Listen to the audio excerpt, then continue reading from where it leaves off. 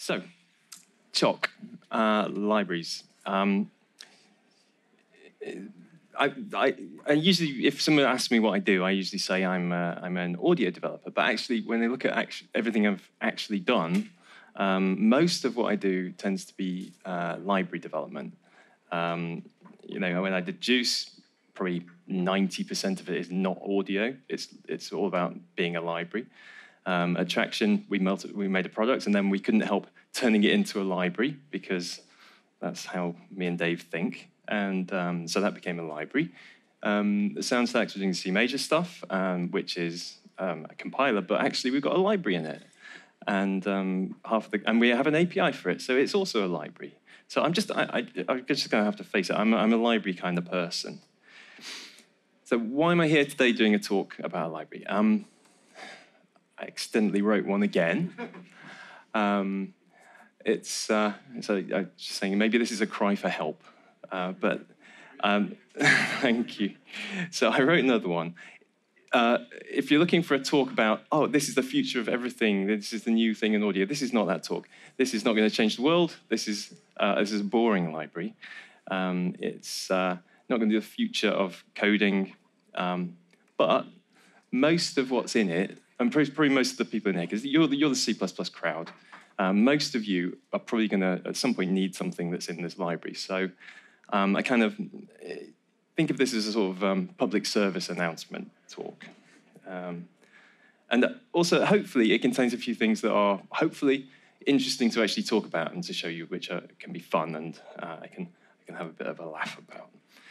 Um, if you've got your laptops, none of you've got your laptops open. Good, you're not you're paying attention. So, but if you did have, you could go to this and this uh, the GitHub repo here, and actually have a look at the code and um, and see what's in there. So, as I'm talking about things, you might want to have a have a poke around. Why bother? Why write another? Why write another library? Um, I guess the mistake I made was that I had a bit of code lying around that I was using, that I needed for things and um, I sort of idly wondered to myself, oh, you know, imagine if this folder full of code was a library. You know, what would I call it? Oh, well, I, you know, shower thoughts like, oh, oh, header-only classes. Oh, actually, a really good name. Um, and once you've got a good name, your stuff, you have to do it. Um, and Choc, for me, that's appropriate. Anyone who's actually had to share an office with me at any point knows that, like, some some people all that code is caffeine fueled. Mine is just like bars of chocolate. I, is my is my coding drug. Um, but really, every, the, the, point about this library is everyone needs um, boring bits of functionality from time to time. Um, and the standard library has lots of boring functionality in it, but there's always stuff that's missing. Um, you know, you're kind of, I mean, normal, you know, you, I, I, need to trim a string. I need to trim the white space off a string. I need to join some strings together with a with something in the middle, or you know, I need a com smart pointer again for you know, I don't want one, but I need one. It's boring. I have to do it. Now, normally I'd reach for um, for JUCE, um, which has got lots of the bits and pieces that you need in day-to-day life. Um, and if normally if it wasn't in JUCE, I'd write it and add it to JUCE because that's why been doing for 15 years. But um, the last couple of years, I found myself in a position where I wasn't using JUCE and couldn't, for various reasons, use it. Uh, so, you know, I found myself, what do I do? I need this stuff all the time. Now, some things are just so easy, so trivial, that you kind of just write it. It's a five-line five-line function. You just write it. You don't think about it. You move on. Um, but others and others are so complicated that you know, it's a no-brainer. You don't write it yourself. If I want to, if I want to play back some video, I'm not going to write a video decoder. I'm going to go and you know, get FFmpeg and sigh and deal with that. Um, but there's a kind of middle ground of stuff that's, you know, it's smallish. It, I could write it. I know how to write it. I don't want to write it, but I can. Um, but it's also things that are more general purpose than whatever you're working on you know, if I'm writing a compiler and I need to join some strings together, you know, the joining the string function doesn't go in a compiler. It's not part of that project. It sort of go, goes somewhere else. and a lot of these things are stuff that you're definitely going to need again in the future. You know, whatever I do in five years' time, I'm going to need to join us, trim some white space off a string. Um, so for those grey areas, I found myself looking around for third-party libraries, and um, the the magic of the internet is that you you, you can always find the library, um, but they'll generally be bad in one of many ways. Usually, there'll be a pain to add to your build. I mean, it just goes without saying. They're going to be they're going to be either um, horrible CMake files, hor- just something about it will be horrible in terms of getting into the project in the first place. Um, they're almost all seem to be written in C. I mean, all all the really common stuff. Why do people write in C? Why would you write a JavaScript engine in C? It's like the worst. They've got ugly APIs, big piles of macros getting pulled into your global namespace. They're full of compiler warnings. I mean, even the good ones, even the, even the good stuff. Um, just downright crappy code when you get when you actually start looking inside them, just horrifying things. Even the good ones. So sometimes I'd find like a header-only library, and I'd be, oh, great, it's header-only. Don't need CMake. Look at it, it's C++. It's well written. It's decent. Does what I want. And then you find it's got a, a license. It's GPL or something. I can't use it in my closed source thing. Um, Boost is obviously great, but again, like we had to pull Boost in for some server stuff, and you get Boost, you get one Boost library. All these other friends come along, and they're all on their sub repos, so, and your build takes five times longer than it did before. So anyway, I, was, I started thinking like, what would my um, I don't know if you know the reference, but there's a famous George Orwell um, essay called "The Moon Underwater," where he talks about his his perfect pub and how you know what they would sell in this perfect pub and how cozy it would be. And I started thinking, you know, what my moon underwater library kind of what would it look like? It would certainly cover a good range of you probably are going to need it tasks. So you know stuff that you, everybody's going to need, really boring stuff. Um, it would have to be modern C++, at least 17. Um, but probably not 20 because even now I'm struggling in some of the stuff I'm doing. To, I can't I can't use 20 in places. I'm still stuck on, C, on 17, but definitely not C. Thank you very much.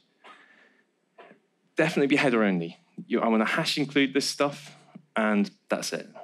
I even choc. I even put that into the name. I'm sticking with the header only um, concept for this stuff and I want it to work in all the reasonable, all the normal compilers that we all use, um, without any warnings, no faffing, please, just include it and expect it just quietly do its job. Um, I want this thing to avoid any external dependencies as far as, as far as humanly possible, and I'll talk a bit, in a, a bit, um, a bit later about some, some tricks I've used for that in a few places. And I think it should also have minimal internal dependencies. Now, um, you only pay for you only pay for what you use is the kind of acronym that I'm sure I heard somewhere, but I don't know where.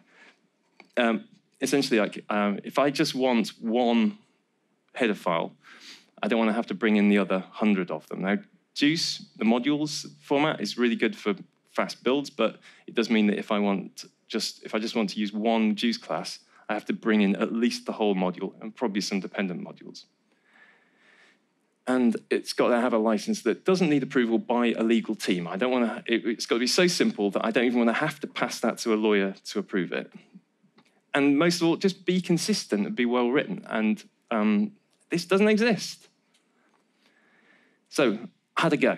Uh, well, at least I say how to go. I, I, already had a lot of stuff. I've, and over the last couple of years or so, I can't remember when I started it, but it's, it's, it's gathered up um, moss or whatever a rolling stone might do, and um, ended up with this kind of range of functionality.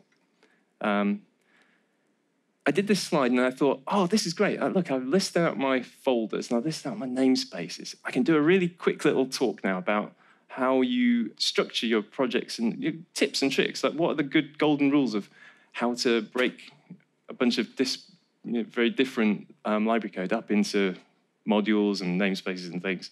And, um, and I thought I couldn't think of any rules really. Um, uh, it's it's one of those things like over the years, moving things around and making mistakes and going, oh, I don't like this in here, kind of gives you a sense of how to how to lay things out. Um, but it, maybe it's a whole hour-long talk next year, like how to name things, how to put things in namespaces, how to how best to group this kind of stuff. But um, yeah, I couldn't think of any pithy, short um, bits of advice there. What I, I did go choose to go for um, lots of sub namespaces. Now, in the standard library and in JUCE, what you find is um, uh, they both started off with a big flat namespace with everything in it. So JUCE was originally JUCE colon colon everything, um, and then toward as we went on, we started adding a few um, sub sub namespaces like DSP, and uh, and same thing happened in the standard library. Originally, it was just std, and then it started having std file system and std um, chrono and things like that. I just I just go go for go for it, and there's very little actually in the choc root namespace. Um, what I found as I sort of evolved this and you know worked on the code and moved things around and added to it, is it all started to fall into a, a kind of common pattern. Um, and you don't, you don't have to see what's on the screen now, but blur your eyes a bit.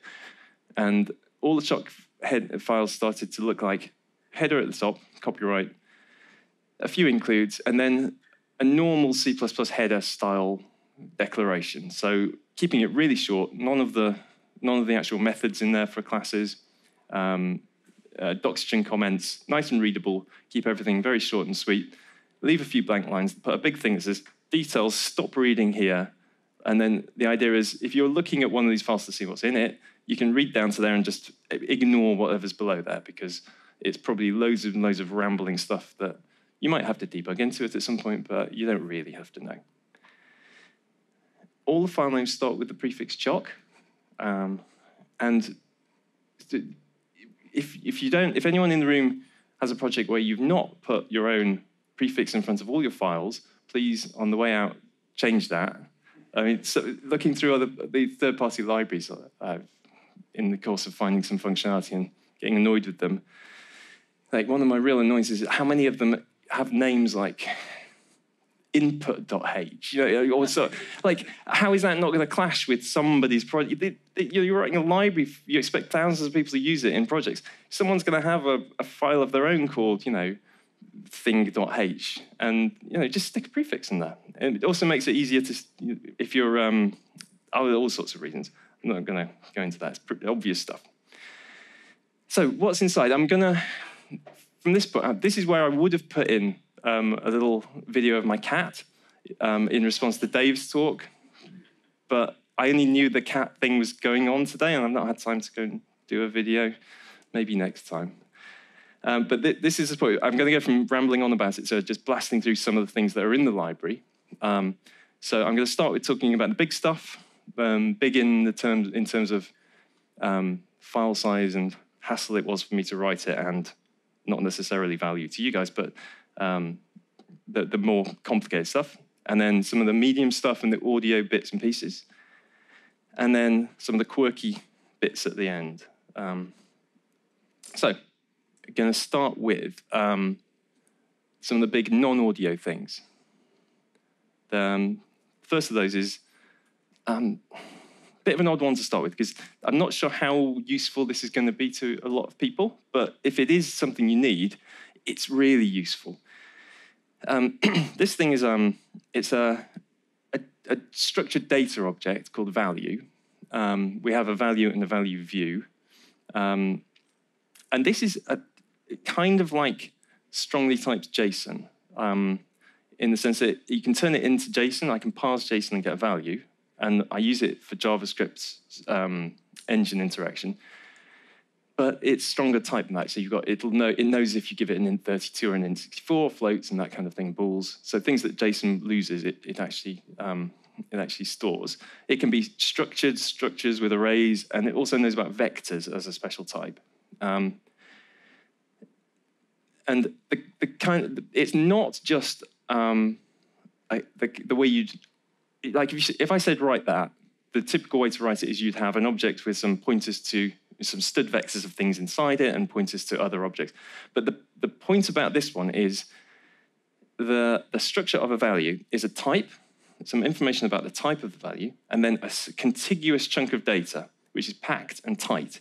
And the reason we, I'll, I'll explain in a minute. That's useful when you're passing these things in and out in a real-time context. And we need it for Cmajor to actually get typed values in and out on a real-time thread. So although it is a JSON object, it's a very specialized use case. So if you're add, it, it's very good for handling things with a fixed memory layout. So if I have um, uh, uh, if I have Cmajor is a good example. If I'm emitting events and they're all the same, they're all the same fixed layout, very very low overhead to just create and generate those those objects and pass them around and ask what they are and do that kind of thing.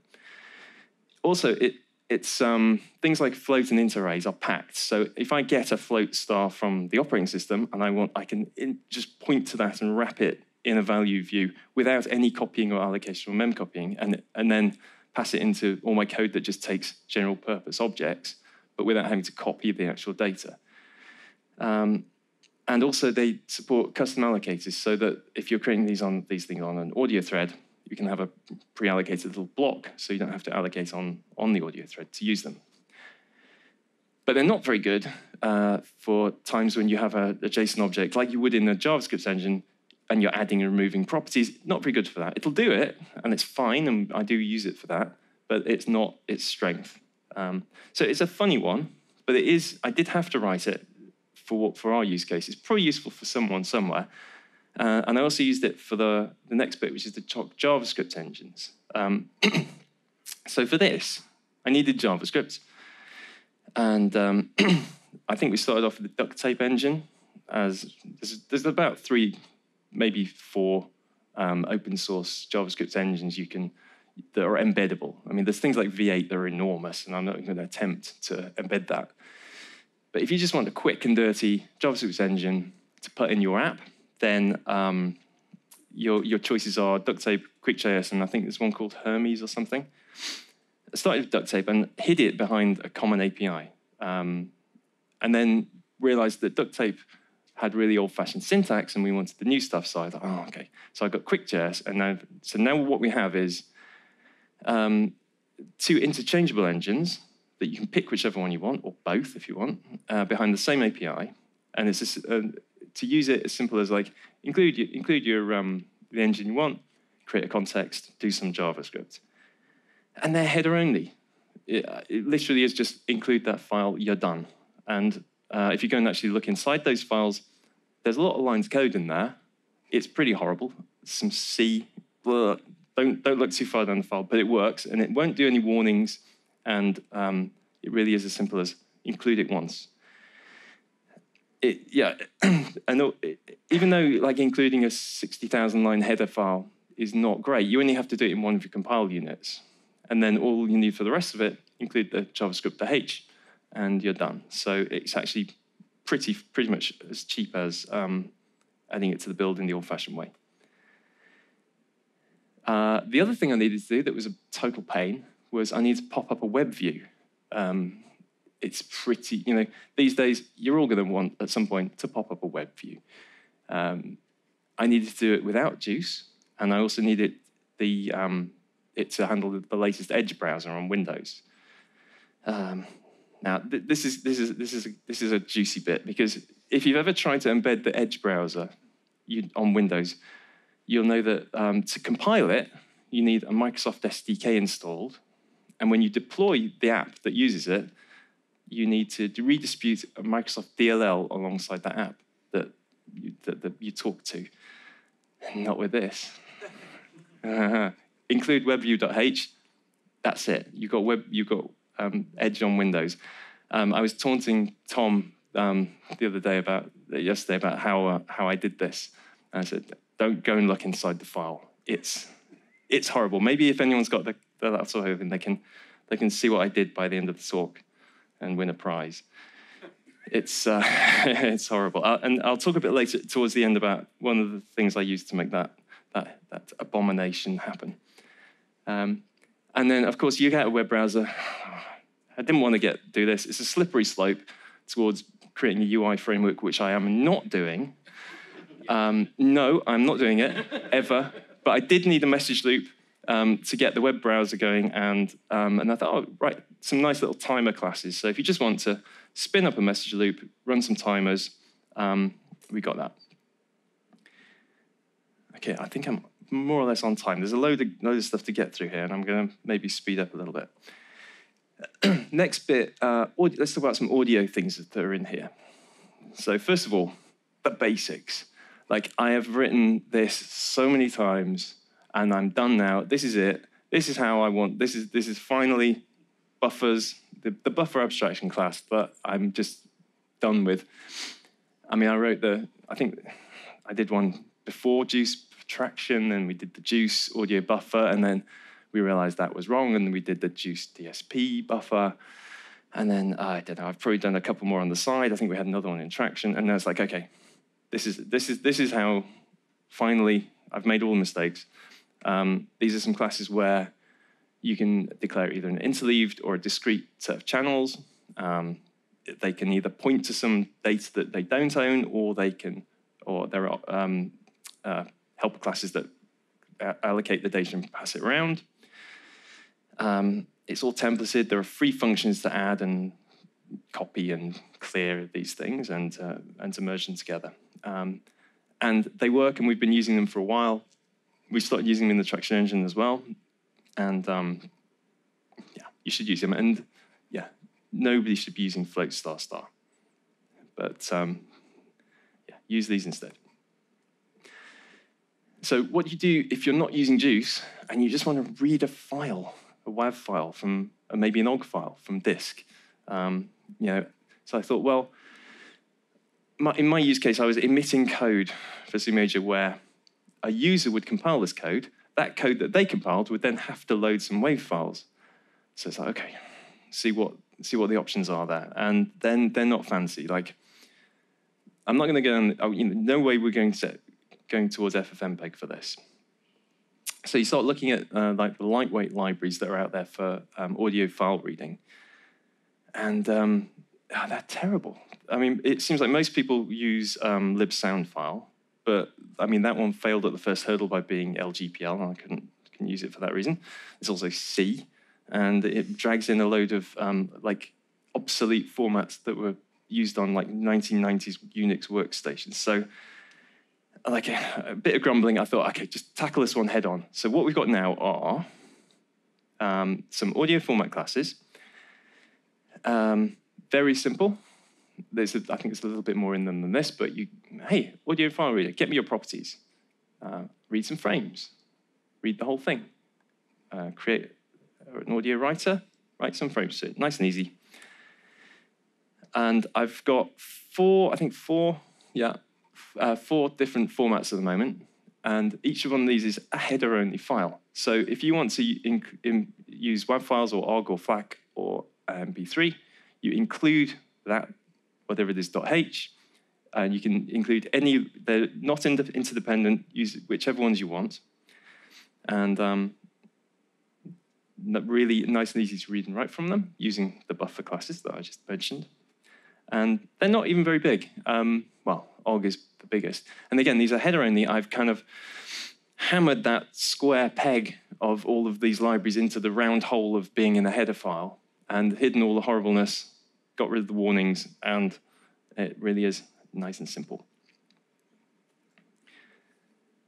Um, another sort of helpful bit here um, that I've done many, many times over the years is I'm trying to play some audio and some MIDI, and um, we've got buffer, buffer callbacks, and I've got random thread giving me MIDI data, and um, you need to kind of synchronize the incoming MIDI and um, put them into buffers and actually synchronize that with into the callback. So I've, this audio MIDI uh, block dispatch is a kind of nice little templated abstract way of doing that, which is handy. Nothing much to say about it. Useful. We use it in our uh, Major player. Apparently, people still use MIDI. Um, I've heard. I've heard that they even have a new version out.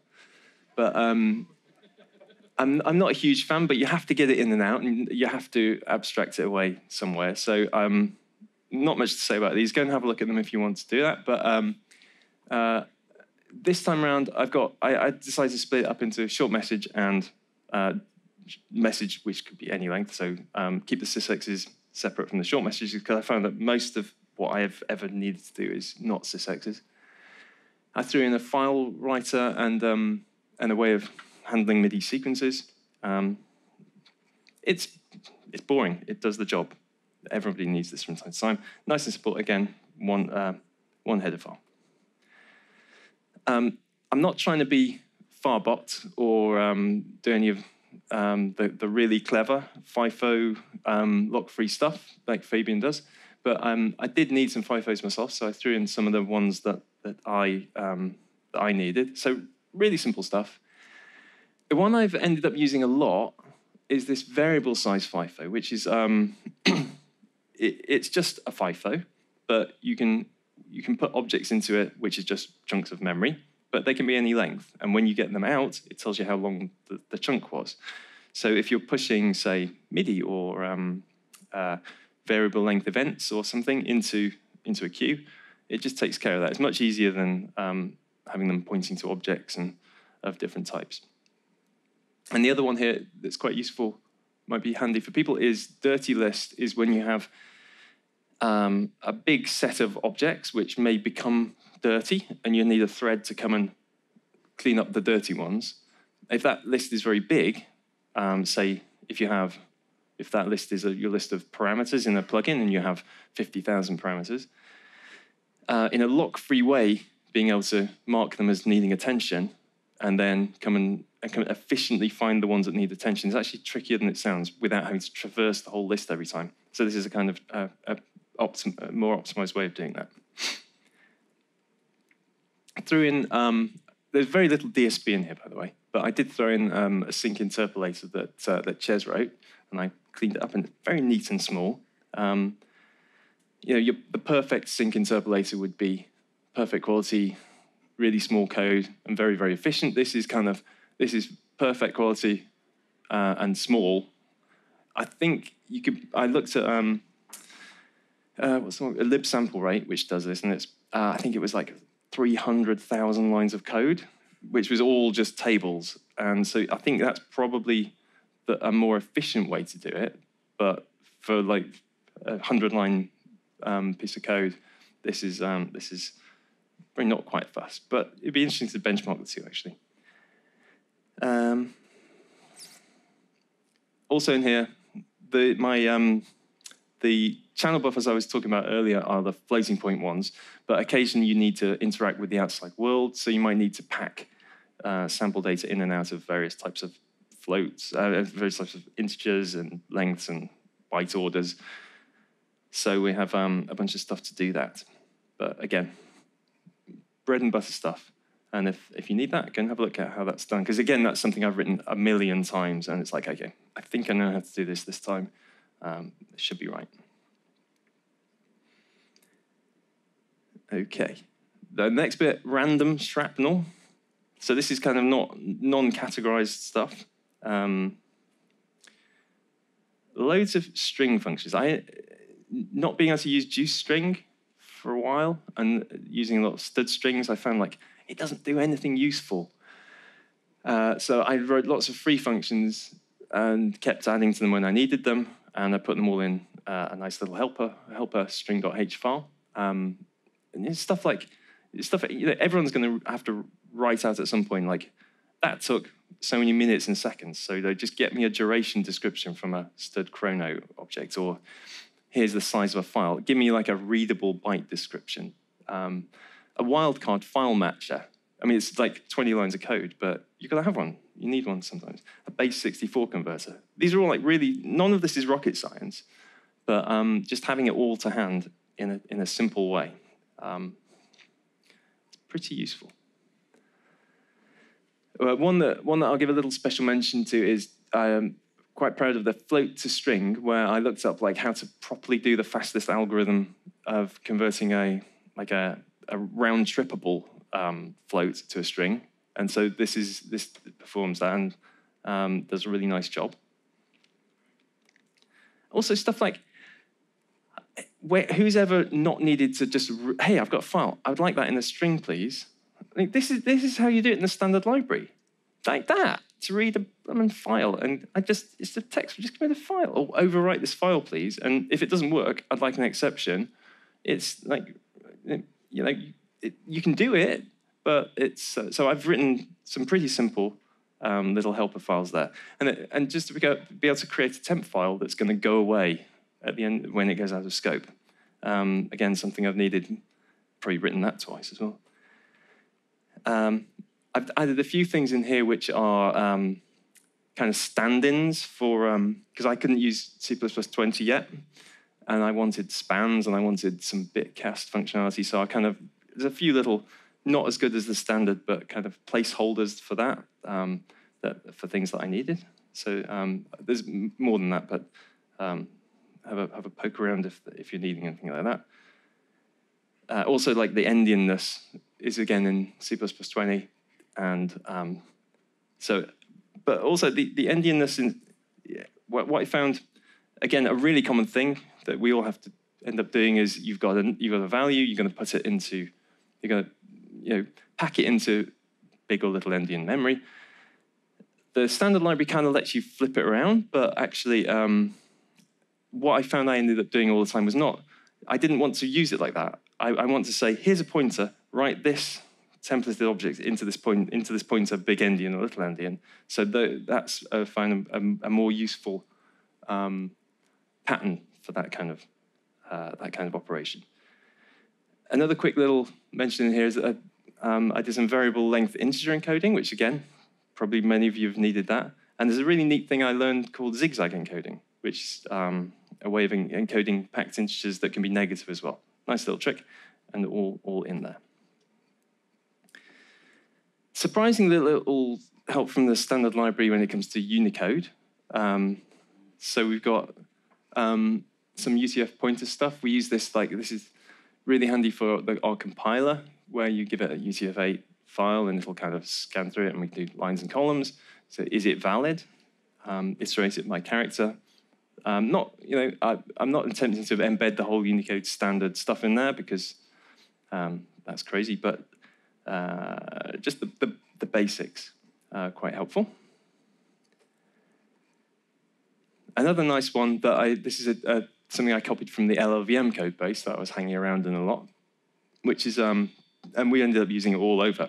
It's just um, a like a standard vector, but uh, with a little bit of um, uh, small small object optimization. So it, it, has a bit of space in there, um, and you can, you can, grow it beyond the embedded space. But if you if you know you've got to have just four objects, um, you can do it. You can create one of these uh, with a preset size, so it doesn't actually have to heap allocate at all. And I use this on, you know, under controlled conditions. We use this on the real-time thread. Um, another good, another little thing here that might be might be a, a good kind of um, something if you don't already do it in your code base is just to try and get rid of those stars from your code by using some some smart pointers around things uh, like around references and raw pointers. Um, now I know that we've got std reference wrapper in the standard library, and I started using that, but then I thought, hang on, if we have our own, we can actually assert when you misuse it so in our, in our compiler, um, we, we, all of our references and pointers are wrapped in these things. Well, not some references you can often get away with quite safely, but um, certainly all our pointers are wrapped in, the, um, in these object pointers. And it means that if you dereference it a null pointer by mistake, you get an assertion which turns into an internal compiler error with a proper um, failure message. And actually being able to do that is really handy um, in terms of our maintaining that code base. So it could be useful for you, you lot. And oh, yeah, sometimes you just have to use COM. I, yeah, sorry. But if you do, and you, and you don't fancy writing that COM smart class again, like everybody else does, uh, you, can, you can use this one. Uh, this this is um, this does what it says in the tin. You're including some terrible code from that you've you've downloaded from the internet. It's rubbish. It's full of warnings. So you include disable all warnings, include rubbish code, include re-enable all warnings, pretend it never happened. And I've used that so many times. uh, some uh, in the course of doing quite a lot of threaded stuff as well. Um, in the last couple of years. Uh, I find myself wanting the same few uh, multi-threading patterns, so I've, I've put those in here. Uh, the thing I think I always seem to want to do, which we could do with JUCE threads, but which is very hard with the standard library threads, is just to, I want an object which is a thread, and I want this thing to um, do a task when I tell it to. So I call I call it on the one thread. I want its thread to just do the thing now. Call my function pointer. Call my uh, call my lambda. Or I want it to do that every so many milliseconds, or say, and then, but most importantly, when I destroy that thing, I want it to cleanly stop after it's finished and without any messing about. Now that's like acres of code to do with the standard library threads. So I've packed it into a thing called task thread um, and found out that most of the time when I need something to happen on another thread, that's probably what you want to use. Um, another really handy thing there is um, this thread safe functor, which is a kind of wrapper around the functor. And what you often get is um, when you post um, functors to be called by the message thread later, you'll probably, um, like me, immediately have bugs everywhere when those functors are getting called later on by the message thread after the thing that they were supposed to be talking to has been deleted. And if you post something to the system message thread, you probably can't get it back. So um, if I have an object that I want to, and I say, call me on the timer later, do a thing um, to this object, give it a lambda that points to this object, delete the object, to be able to cancel the in-flight callback um, in, it, it, without any race problems, that's what this thread safe functor is for. So it's kind of a little intermediary you'd stick in in the way of a message that you're firing out um, because you know you can tell it not to arrive. Um, another one from the standard library here, if you, um, hey, ever needed to sort anything on your audio thread, hey, use the stable, stable sort, because that's how you sort MIDI messages. No, it heap allocates. Um, I was having a chat with Timur about this this yesterday as well, because um, he'd hit the same the same issue. And um, yeah, I needed this, so I wrote one that doesn't allocate but does the same thing. So um, might be handy if you think you've ever used that. Just do a quick search and make sure you're not using it on the audio thread. I only found that bug because our allocator checker kicked in and said, "Oh, you can't do that." Um, handy little thing here. Um, there's um, I needed a fast but not particularly crypto secure hashing uh, function for some stuff um, just to see just see whether I need to rebuild things. And uh, there's a really nice thing called the xxHash, which uh, has a 32, 64-bit version. It's really fast um, and um, pretty secure enough for like normal day-to-day work. That's in there. Okay, um, a few quirky bits um, and some eccentric stuff. Uh, we got a pool um, a lot of compilers do this. The, I, I, wrote it for our compiler. Um, when compilers run, they tend to create millions and millions of tiny objects very quickly that all point to each other in a big orgy of pointers. So there's no, there's no point trying to, trying to own each other. And then you're done compiling, you go, boom, drop the whole thing. So we have a pool that does a very, very fast um, and single-threaded uh, allocations, and then drops all the objects at the end. Um, I don't know how useful that is to a lot of people, but if it is, if you need it, then this is, this is a really nice version of it. Here's one that if you do use Choc at all, you should use this because um, if you uh, if you do embed even permissively licensed stuff, then um, the most licenses, even the permissive ones, say you do need to actually put the license text, uh, make it available to your users. So what I've done here is there's a little class and a macro that, that you can use that. Um, so if you include Choc, any bits of Choc that you include get marked up at, with licenses internally. So you can just call uh, Choc text open, get, open source license list.get or whatever it is, and it will give you a big string, which is all of the licenses that you have used from Choc uh, in one big piece of text. Then you can stick that in your about box, or you can print it out on the console. Uh, and if you use your own uh, your own libraries as well, you can use the add your the Choc macro to register those licenses and it'll add them to the list. So um, it's just a nice little way of centrally managing all that mess. And so you don't forget um, which libraries you've actually got in there. So like the things I've embedded, like the JavaScript engines and the OGG and FLAC uh, decoders, obviously those have li licenses embedded in them, and those licenses will appear in this list if you use them. Probably one of the, least useful things to people in this room, but there's um, we we've been doing a lot of um, code generation, and um, that involves uh, having a stream where you're writing to. You'll say like start an indented block, maybe with braces, print some things in there, you know, end of the block. Um, so we've got a code printer and it can do things like tables and uh, nicely laid out stuff. So all of the uh, Cmajor to uh, C++ and Cmajor to JavaScript um, to, uh, to uh, different targets, we use uh, this code printer. useful, I don't know. Someone somewhere will need it.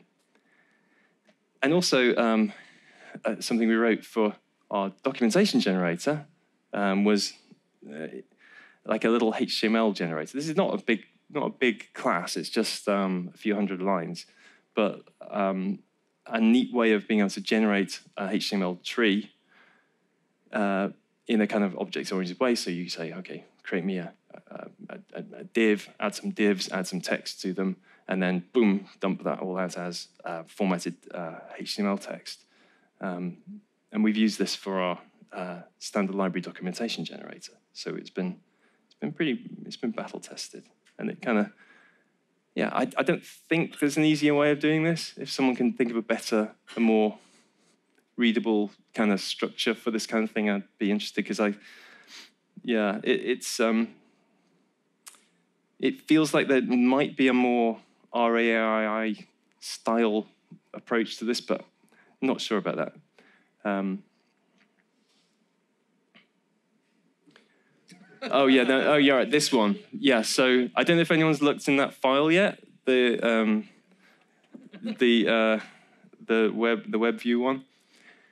But um, if if you have to if you have to deploy a um, a Microsoft SDK redistributable DLL with your with your app, you could install take that put that file in your installer and have it installed, um, and then read it, or you could take a copy of the DLL, turn it into, turn it into, turn it into um, an embedded uh, C++ literal, um, and, and then that chunk of DLL, in that DLL image in memory, you could load it into memory and just use it.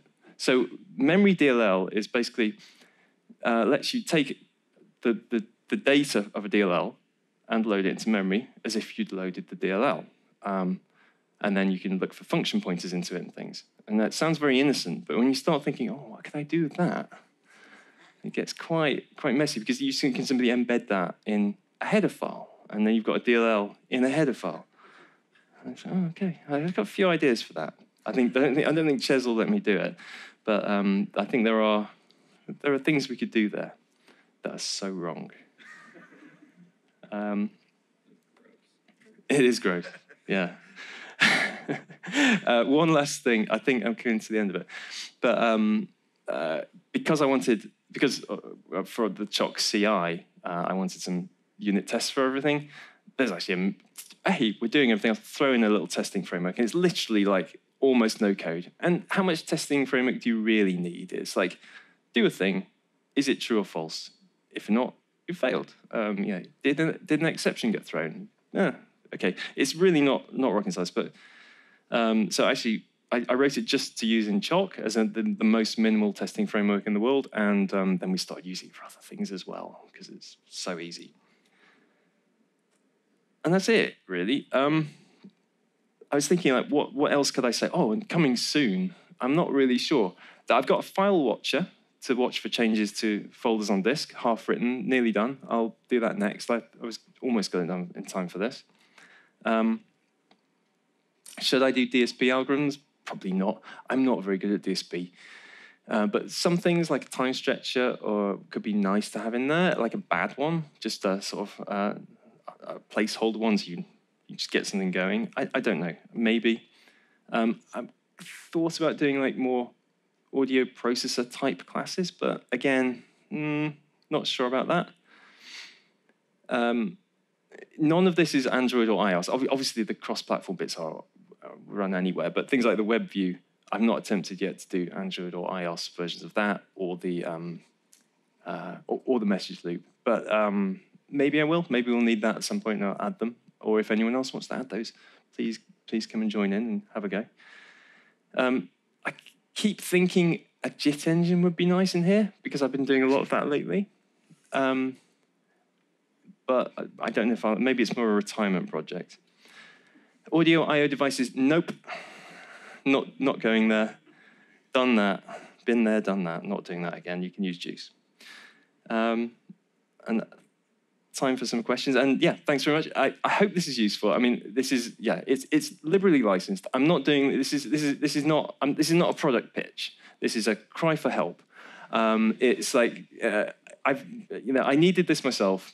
Um, I wrote it anyway, and it's probably useful. So I hope it is. Hope you all want to get involved. Um, it's there on the Tracktion GitHub. It's under Tracktion for no particular reason. Again, it's like it's not for profit. It's open source. Um, but uh, give us a star, and um, yeah, and let me know any feedback. Thanks very much.